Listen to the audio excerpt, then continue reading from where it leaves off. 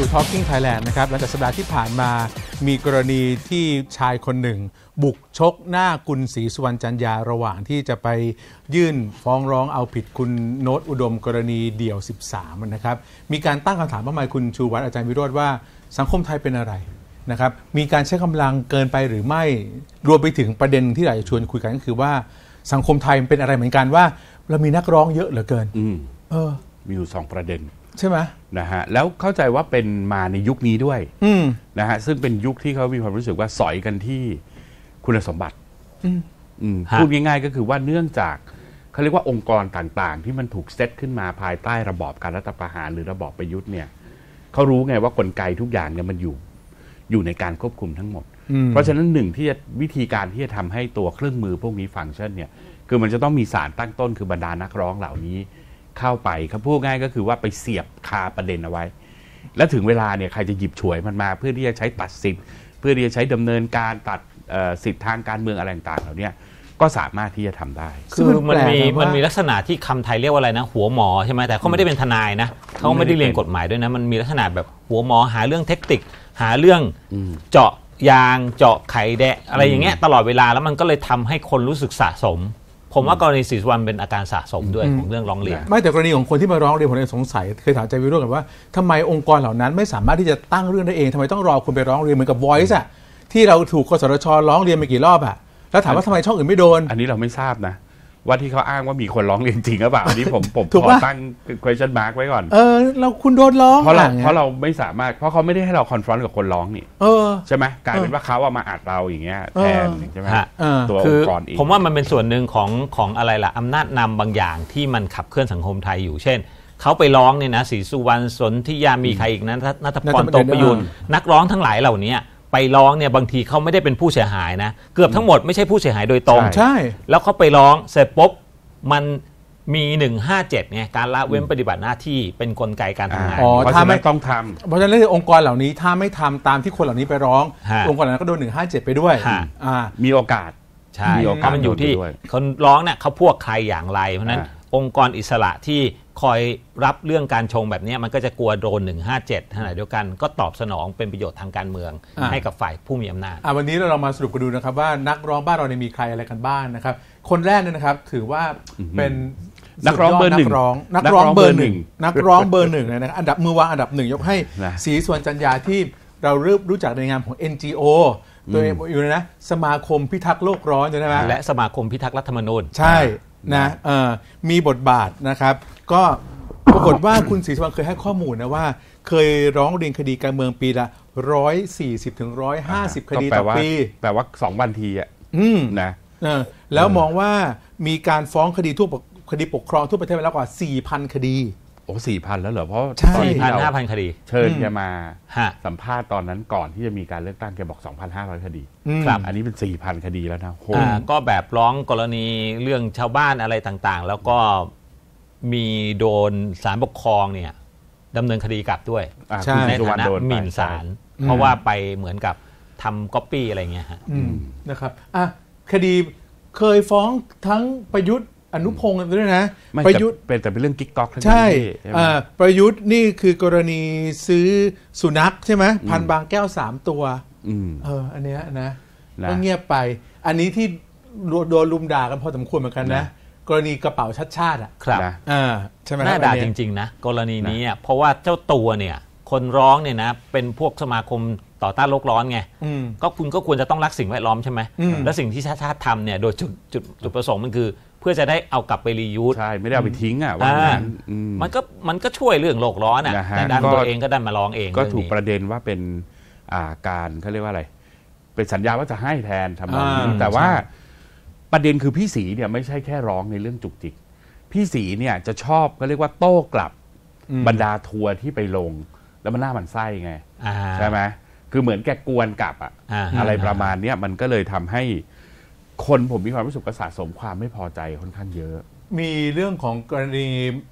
เอ่อไปฟ้องมาตรา1นึกับนาราคลิปประเทิดคนลาซาด้าแล้วก็ไทยเวียดเจ็ตเล่นมุกเปิดไฟล์น่านมิวนิกนะครับอ่าแต่ว่าถามจริงว่าคดีที่เมื่อกี้คุณชูวัฒน์อาจารย์วิโรจน์พูดถึงว่าการเมืองหยิบไปเล่นอืมเราเรียกว่าเป็นผลงานชิ้นโบราณมีใครกันบ้างก็คือนี่ฮะเรื่องของโครงการบริหารจัดการน้ำสมัยคุณยิ่งรักษณ์นะครับสามแสนห้าหมื่นนะฮะแต่สุดท้ายเข้าใจว่าไปศาลปกครองสูงสุดก็กลับนะ ใช่กลับคำวินิจฉัยอ่าของศาลอ่าปกครองขั้นต้นนะครับฮะแต่ยังไงก็ตามเรื่องนี้มันไปสร้างความชอบธรรมให้กับการล้มโครงการใช่3.5 แสนล้านอยู่แล้วนะฮะใช่ไหมแล้วคุณดูตอนนี้คนอุบลเป็นยังไงล่ะแล้วอ่างทองเป็นยังไงล่ะ ปัญหาก็คือไอ้สะไอ้โครงการก็เรื่องหนึ่งแต่ปัญหาคือไอ้ผลกระทบจากการร้องสิ่งเหล่านี้ฮะแล้วมันเอากลับไม่ได้เพราะว่ามันไม่ใช่แค่การร้องโครงการนะพี่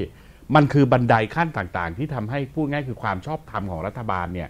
อยู่ไม่ได้และนำไปสู่การรัฐประหาร ใช่ใช่คือมันเป็นจิ๊กซอว์ที่เหมือนต่อมาเรื่อยๆว่าโครงการคุณไม่ชอบทำนู่นนี่นู่นนี่ขยับกันไปเรื่อยอืมๆและสุดท้ายก็คือดับไปทั้งโครงการอืมแล้วถามว่ารัฐบาลที่มาทดแทนก็ไม่ได้นำไปสู่การแก้ปัญหาอย่างเป็นระบบอืมนี่คือสิ่งที่ประชาชนต้องจ่าย เพราะฉะนั้นเนยคุณต้องจำไว้นะครับว่าโครงการน้ำเนี่ยมันล้มเพราะคนนี้นะฮะอ่าถูกไหมฮะใช่ไหมนะเออแต่ผมคิดว่าไม่ใช่อภินิหารอะไรเขาหรอกเผอิญเผอิญเขาเรื่องมันก็เข้าไปพอดี ก็ดังมันเข้าทางการเมืองพอดีเขาดังไงอืม เขาได้แบบมีแสง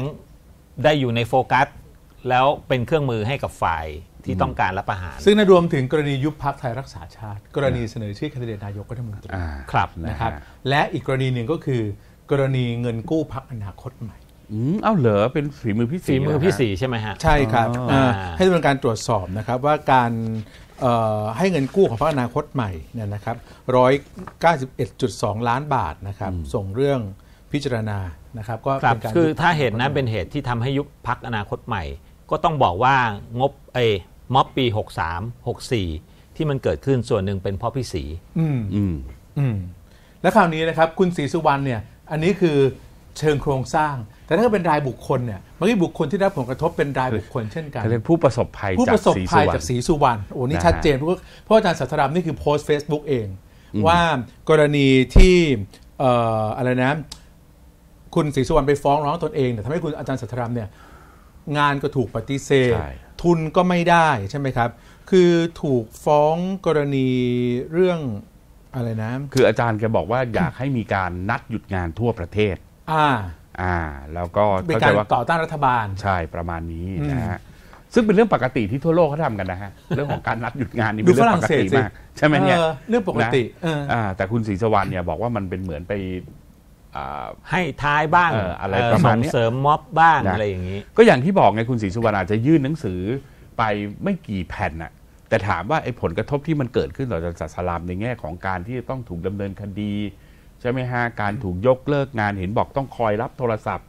จากคนที่มาป่วนมาด่าที่มาบ้านอะไรก็บ้างอะไรที่บ้านทำก็นองเนี้ไม่ยสบายใจใช่ใช่ไหมฮะอืมก็ไม่ถามว่าใครไม่โดนร้องไม่รู้หรอกพี่ศบผิดชบะไบ้าง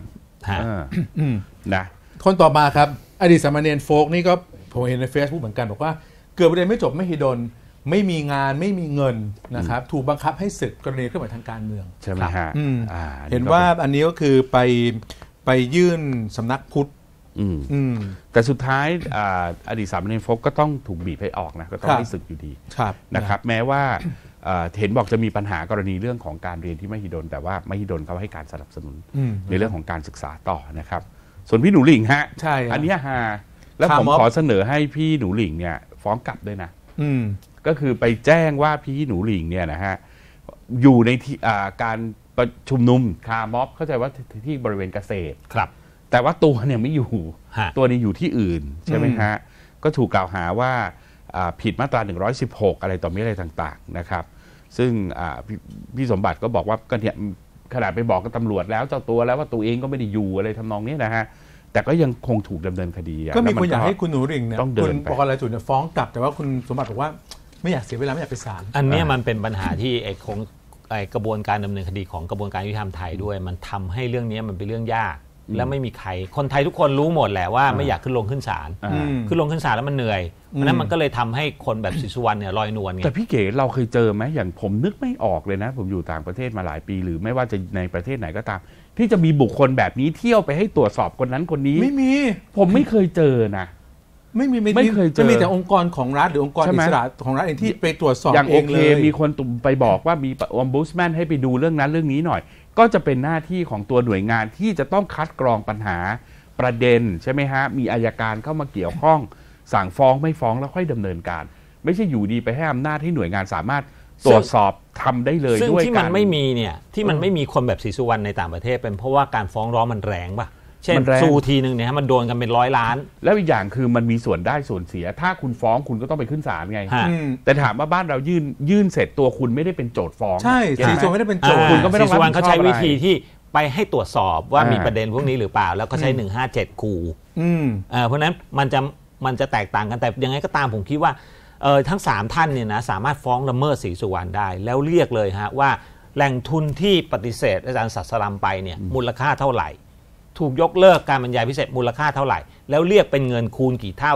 7.5%คูณดอกเบี้ยเข้าไปอืมสมบัติบุญงามนงเนี่ยทำให้เสียอะไร ไม่ได้กินแมคโดนัลล์กี่ทีเข้าร้านไม่ได้เออคำนวณออกมาเป็นเงินให้หมดแล้วฟ้องเรียกคุณศรีสุวรรณเห็นว่าคุณศรีสุวรรณเนี่ยกำลังโดนเอ่อพลตำรวจเอกเสรีพิสุทธิ์ฟ้องอยู่แล้วฟ้องให้ยุบสมาคมด้วยนะฮะอ่าไปตรวจสอบสมาคมไงบอกตังค์ที่แต่ได้ไม่มีมาความไม่ได้เข้าคืบสหน้ามาคมเลยเอออ่าไม่มีความคืบหน้าครับฮะ นักร้องท่านต่อมาครับสนธิยาสวัสดีครับอ๋ออันนี่เป็นแฟนคลับรายการพวกเราด้วยนะนะแกมาฮะดูอยู่เลยสนธิยาสวัสดีนี่ก็ล่าสุดก็ไปฟ้องคุณนพอุดมเช่นกัน เพราะว่าพาดพิงประยุทธ์ใช่ไหมครับฮะฟ้องหลังคุณศรีสุวรรณ อ่า แล้วผมชอบวิธีการแกมากเลยที่เขาถามว่าพี่ไปเที่ยวฟ้องร้องอะไรมาเขาบอกแกรักพลเอกประยุทธ์ ฮะ อืม คือด้วยความรักเนี่ย แกพร้อมที่จะตรวจสอบคนไปทั่ว ฮะ มันได้ด้วยเหรอปัญหาคือโอเค ไม่ อ้างประโยชน์สาธารณะอ้างนู่นอ้างนี่ยังฟังขึ้นไม่ อันนี้เป็นเพราะรักพลเอกประยุทธ์นี่ก็ได้ด้วยเหรอ ตามหลักแล้วไม่ได้เออถ้าแกไปฟ้องนะ แต่คนเหล่านี้เหมือนศรีสุวรรณคืออาไม่ได้ไปฟ้องเองบอกอ่าให้ให้ไปหน่วยงานเนี่ยไปไปตตรรววจจสสออบบอย่างเช่นเนี่ยทุกอย่างเนี่ยไปยื่นกับกองบัญชาการตำรวจนครบาลให้อ่าไปตรวจสอบทุกสิ่งทุกอย่างนะครับใช่ไหมเออโอ้นี่สี่นักร้องดังสี่แยกปากหวาน ใช่ที่ร้องเพลงเหน็บรัฐบาลอืมอ่าเนี่ยะแล้วก็มีอะไรนะ ฮะขอเอาดาราเขาใช่ไหมในเรื่องของการบริหารโควิดเออพิมพ์ริมีเรื่องพายพิมพ์ริพายอ่ากองทุนราษฎรประสงค์พิธาไม่สวมหน้ากากอนามัยไปยื่นยุบเพื่อไทยนะฮะคือแต่ละเรื่องมันหน้าไหมล่ะ ก็ทีมงานเราสรุปว่าผลงานของสนธิยาเนี่ยผลงานชิ้นเป็นอันคือ ไม่มีอะไรเป็นชิ้นเป็นอันเลย อ่าก็คือกลายเป็นว่าพี่สีพี่สียังเข้าเป้า โอ้โหแต่พี่ศรีแกมีเยอะไงแกร้อยสี่สิบต่อปีอะอืม ใช่ไหมความถี่แกเยอะกว่ามันมันต้องเข้าเป้าแต่ก็บ้างไม่แหละแน่นะ ผมว่าหลังๆคุณสนธิยาก็ไปทุกไปทุกงานเหมือนกันนะฮะอืมเออแต่ว่าตัวคุณสนธิยาเนี่ยโดนฟ้องกลับโดยพลตำรวจเอกเสรีพิสุทธิ์เตมียเวทอ่าโดนเหมือนกันหมิ่นประมาทศาลสั่งจำคุก 6 เดือนนะฮะอ่าและคุณสนธิยาสารภาพก็เหลือ 3 เดือนรอลงอารอญาลงอาญาแหม่อืมฮะโอ้โหเนี่ยก็แปลว่าทั้งหมดเนี่ยมีคุณเสรีพิสุทธิ์ที่ตามอยู่อืมอืม เพราะฉะนั้นเนี่ยก็ก็ไปไปไอ้นี่ปลาเขาไง เป็นเรื่องอ่าเรื่องบรรดาดารานี่คือตอนนี้เป็นเป็นเรื่องใหญ่มากนะอืม ออกทั้งที่ออกไปออกโขนกระแสต่างอืมๆมากมายเนี่ย ฮะก็คือคุณสนธิยาเนี่ยจะเล่นดาราเยอะ อืมแต่คุณศรีสุวรรณเนี่ยไม่ค่อยเล่นดาราหรือคนที่ทำงานสื่ออืม อ่าคุณศรีสุวรรณนี่ใช้สื่อมาตลอดไง ใช่ไหมก็เลยสุดไม่คุณค่อยมีคุณอ๋อมก็โดนนี่ใช่ไหมคุณอ๋อมอะอ๋ออ๋ออ๋อเออรู้สึกพี่สนใช่ธิยาผมเขาไป จำได้ว่าคุณยืนร้องเนี่ยด้วย ออกมาแบบตอน call out ดารามากขึ้นเรื่อยมากขึ้นเรื่อยๆสนธิยาเนี่ย ปิดเกมนี้เลยอืมพยายามจะพยายามปิดปากดารานะฮะอืมนะครับ แต่ว่าก่อนที่จะมีศรีสุวรรณก่อนที่จะมีสนธิยาคนหนึ่งที่ถือว่าโอ้โหเป็นนักร้องเบอร์หนึ่งมาก่อนมาก่อนนะ คนนี้ครับ เรืองไกรลีกิจวัฒนะนะครันะฮะบอืมอ่าถามก็ว่านโยบเอ่อการร้องแรกๆของคุณเรืองไกรคืออะไร นั่นก็คือกรณีซุกหุ้นคุณทักษิณโอ้โห เข้าเป้าเลย เข้าเป้านั่นแล้วคือในยุคแรกรัฐธรรมนูญปี 40 นะ ฮะอ่าใช่ไหมใช่นะฮะ เออ เข้าเป้าแล้วนอกจากแล้วก็เป็นประเด็นแต่อ่า ที่สุดแล้วศาลบอกว่าไม่ได้สุก อะนะอืม แต่ว่าอีกเรื่องหนึ่งที่เข้าเป้าเหมือนกันก็คือกรณีทำให้ไปร้องคุณสมัครสุนทรเวชในอัรายนนี้การจบเลยทำข้าวชิมไปบนปากฮะ อืมไม่แต่ว่าอันนี้ไง มันเป็นจุดเริ่มต้นหรือเปล่า ถ้าย้อนกลับไปในยุคของเออ พลังประชาชนในยุคที่เราเห็นการปฏิวัติโดยทหารหน้าจอโดยที่ไม่ได้ปฏิวัติอ่าปฏิวัติจริงอะจำได้ไหมนะฮะอ่าถามว่าตอนนั้นแกเป็นยสวใช่ไหมเข้าใจว่าเป็นสวนะ แกเป็นสวอยู่ครั้เป็งนหสวนึ่งสรรหาตอนนั้นอ่าเป็นสวอยู่ครั้งหนึ่งเออแต่ใช่ปะคือผมว่าทั้งหมดเนี่ยนะฮะมาจากคุณเรืองไกรอืมใช่คุณลังการเป็นสารตั้งต้นของการที่มีใช่คนบุคคลคนหนึ่ง ไปฟ้องด้วยทั้งเทคนิคอืม ด้วยประเด็นเล็กอ่าๆประเด็นซุกหุ้นประเด็นทางบัญชีอือืมมอะไรอย่างเงี้ยอืมเป็นความถนัดของคุณเรืองไกรแล้วมันล้มได้อืมอืมชิมไปบ่นไปเนี่ยรับเงินค่าจ้างอ่าถือว่าผิดไม่มีคุณสมบัติการเป็นนายกอืมสมัครไปเลยอืมนะอันเนี้ยมันเป็นมันเป็นทำให้นักร้องคนอื่นๆเนี่ยใช้วิธีแบบเนี้ยอืมสร้างความดังให้ตัวเองนะ แต่ซึ่งว่าก็ต้องคุยเรื่องนี้กันต่อนะพี่ว่ามันเป็นเรื่องความดังหรือจริง ๆ แล้วมันเป็นธุรกิจการเมืองอีกรูปแบบหนึ่งหรือไม่ ครับ ซึ่งตอนเนี้ยก็เลยต้องตั้งคำถามว่าคุณเรืองไกรย้ายฝั่งไปย้ายฝั่งมาอ่าหรือเปล่า ไม่ใช่หรือเปล่าทำจริงถูกไหมก็คือตอนนั้นตัวเองเป็นสเคยเป็นสวแล้วพักหนึ่งก็ไปอยู่กับไทยรักไทยเออเพื่อไทยเนี่ยแหละฮะเพื่อไทยอ่าแล้วก็ไปอยู่กับคุณหญิงหน่อยปะใช่ไหมเอ๊ะไม่ใช่อ๋อไปอยู่พลังประชารัฐไปอยู่อ่าในไปอยู่พลังประชารัฐไม่ตอนตอนแรกเนี่ยไปโควต้าพไปลังประชารัฐตอนแรกฝั่งที่อยู่เพื่อไทยมาก่อนเนี่ย ไปส่งเรื่องตรวจสอบโต๊ะจีนพลังประชารัฐอ่าที่อ้างว่ามีข้าราชการเจ้าที่ของรัฐไปร่วมงานก็เงียบนะครับเอ่อเรื่องของการที่พรรคพลังประชารัฐเสนอชื่อประยุทธ์อะไรต่าง ๆ เหล่านี้เนี่ยอืมคือแป๊กหมดเลยอ่าแปลกตอนอยู่เพื่อไทยเนี่ย ยื่นอะไรไปแป๊กหมดเลยอืมเพราะเพื่อไทยไม่ได้เป็นฝ่ายที่มีอำนาจไงอืมแล้วก็ไปอยู่พรรคพลังประชารัฐไปอยู่ในกรรมาธิการในโควต้าพลังประชารัฐฮะก็ที่บอกว่ามีมีภาพเบนซ์หลุดมีซื้อรถให้ฮะมีคนใจดีซื้อให้อะไรประมาณนี้อืมนะฮะ ก็แล้วหลังจากนั้นก็เลยจะก็เงีมายบเป็นไปปาร์ตี้พักร่วมฝ่ายค้านผิดจริยธรรมกินฟรีรับประโยชน์อ๋อที่มียุบวิดีพักโอคเพื่ออลไททักยษิณวิเข้าดีมาโอนะฮะอ่าแล้วก็มีฝ่ายค้านยื่นยติอภิปรายไม่ไว้วางใจเถื่อนแต่แต่พอช่วงที่โชว์รถไปหลังจากนั้นมาก็ออกไปจากพลังประชารัฐใช่ไหมไปแล้วนะรู้ไปสึกแล้วนะไปแล้วผมนะได้ข่าวว่าไปอยู่พักคุณหญิงสุดารัตน์ป่ะเออ ไม่นี่ไม่แน่รู้เหมือนกันเออแต่ถ้าลงเลือกตั้งก็ก็น่าสนใจฮะอืมฮะก็เป็นอีกคนหนึ่งที่คงจะใช้สไตล์นี้ต่อไปเรื่อยๆแต่แกไม่พเรื่อยร่ำเพรื่อเหมือนสองคนแรกไงๆอ่าฮะอย่าจงริงหนึ่งอะๆจริงๆงานถนัดแกเป็นงานบัญชีใช่เวลาแกแกเป็นคนตรวจสอบเรื่องซุกหุ้นอะไรเงี้ยมันน่าเชื่อถือกว่าอ่าใช่ไหมแต่ว่าสองคนหลังเนี่ยไม่มีหลักการหลักหลักอะไรมากฮะแต่ว่ากรณีของเรืองไกรเนี่ยเป็นอีกแบบหนะนึ่งฮะแต่ว่าก็ถือว่าคุณเรืองไกรเป็นจุดสั่งเริ่มต้นตั้งต้นที่จริงทำให้เราเห็นว่าคนคนหนึ่งสามารถที่จะเปลี่ยนแปลง ได้นะฮะก็คือกรณีคุณสมัครนี่แหละฮะอ่านะฮะนะเออเอาแต่ว่ามันก็ไม่ได้จบเท่านั้นนะครับ มีอีกมีอีกหลายท่านนะครับ เช่นแต่ว่าอีกสองท่านเนี้ยผมว่ามาอีกแนว อืมคุณนัทพรโปรวยูนนี่อีกเรื่องนะอืมแต่ถามว่าคุณอภิวัตขันทองเนี่ยชกเข้าเป้าหมดเลยนะฮะอืมความหมายก็คือว่าหนึ่งมีความใกล้ชิดชัดเจนกับคนที่มีอำนาจรัฐอ่าเหมือนรับคำสั่งมาเลยอ่ามาเดินเรื่องแล้วคดีแต่ละคดีหนัก น่าจะใช่ไหมนะน่าจะกรณีของคุณนัทพรนัทพรโตประยูนเนี่ยอันนี้มีปัญหากับพรรคอนาคตใหม่ เออที่ไอ้ใช่ไหมอิลู Illuminati มินาตินะใช่ไหมครับเออแต่คุณนัทพรมีมีตำแหน่งอะไรไหมในรัฐบาลเนี่ยเคยมีเป็นที่ปรึกษาอดีตที่ปรึกษาของประธานผู้ตรวจการแผ่นดิใช่นฮะแล้วก็ไปมักจะใช้ผู้ตรวจการแผ่นดินเนี่ยนะฮะในการยื่นร้องอืมใช่ไหมนะฮะแล้วเรื่องคือคือมันทำให้ขยายอำนาจสารรัฐธรรมนูญผลของนัตพรเนี่ยนะฮะ มักจะทำให้ขยายอำนาจของสารรัฐธรรมนูญซึ่งใการอันเนี้ยตีความที่ที่คุณชวัตพูดทั่วถูก เพราะว่าสิ่งที่คุณนัทพรไปยื่นเนี่ยก็คือเรื่องการปราศัยของชุมนุมราษฎรเนี่ยเป็นการล้มล้างการปกครองหรือไม่ซึ่งนำมาซึ่งคำวินิจฉัยของศาลรัฐธรรมนูญเมื่อ10พฤศจิกายนปีที่แล้วอะอืมล้มล้างการปกครอง ที่บอกว่าล้มล้างการปกครอง นี่คือตัวขนะองฮะคุณนัทพรแต่ที่อาจารย์วิโรจน์พูดถูกนะอภิวัตขันทองเนี่ยเรื่องของมิลลิตอนนั้นเนี่ยอืมก็ก็ใช่ย่อยใช่ใช่ไหไหมมครับในตอนแรกนี่มิลลีนี้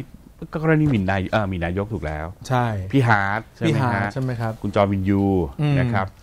แล้วก็อ่าชาวเน็ตคอมเมนต์ใช่ไหม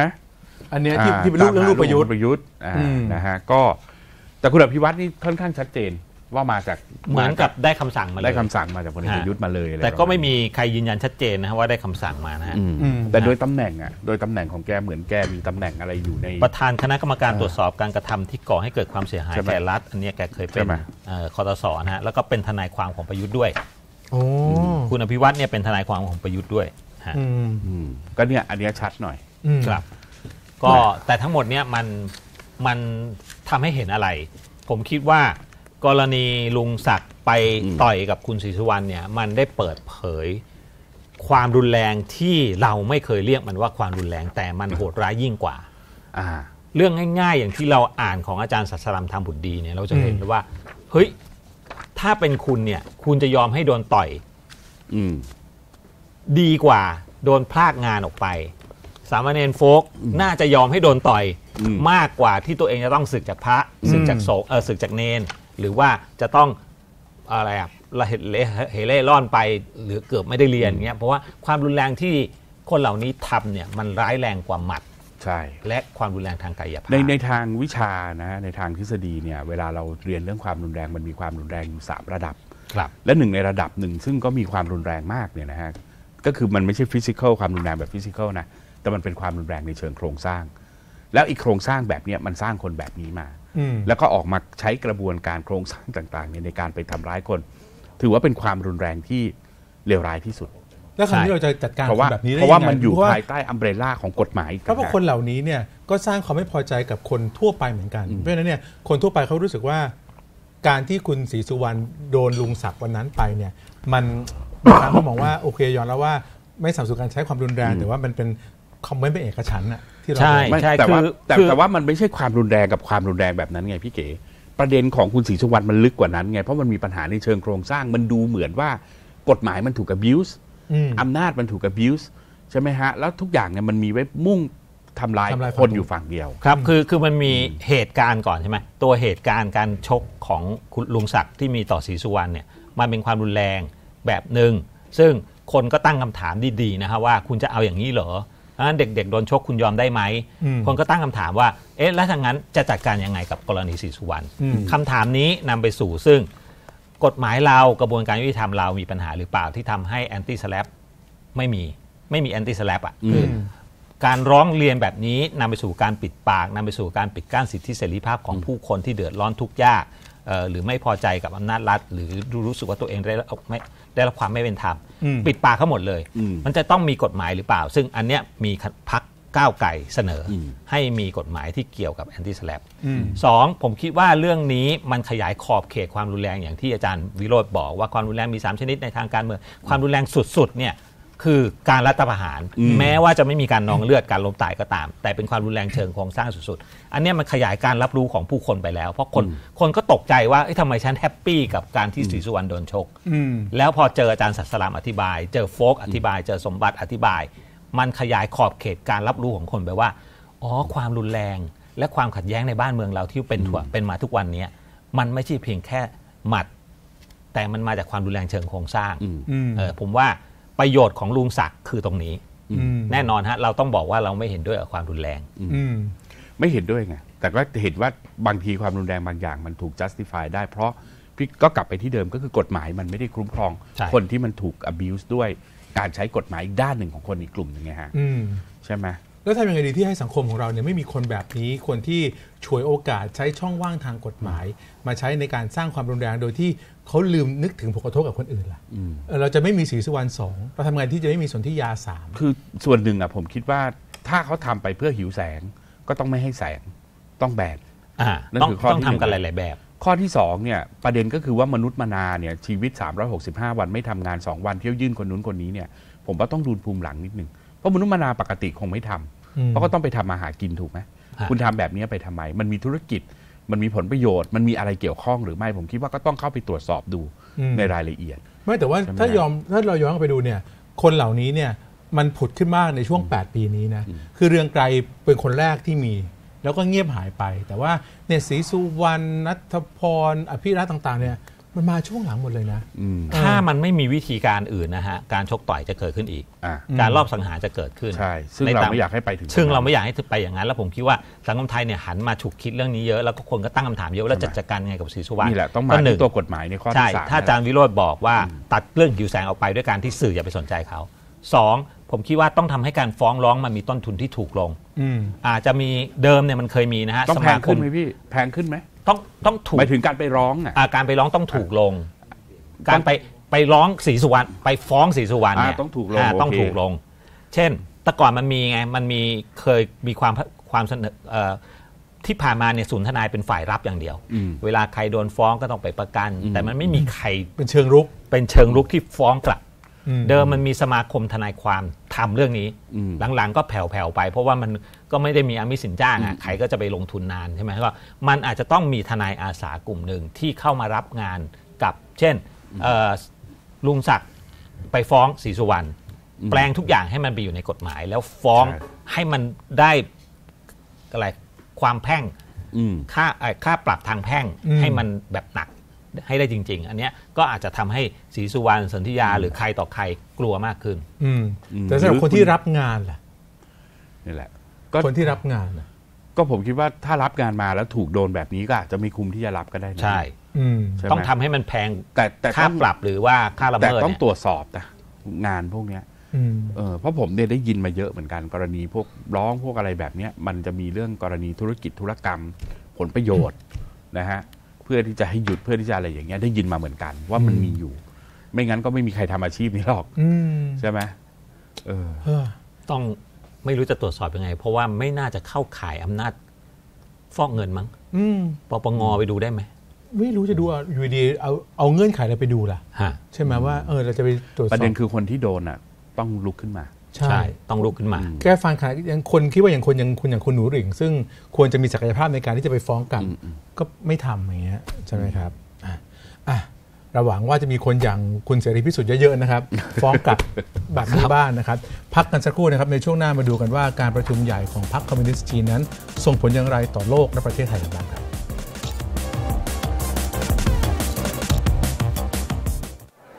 พี่อ๋อมกินได้เลยครับ ได้ค่ะ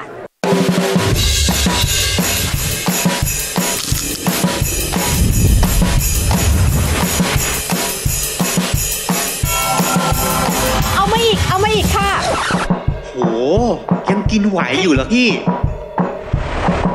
แหม แล้วอะไรอีกออมเลือก M Probiotic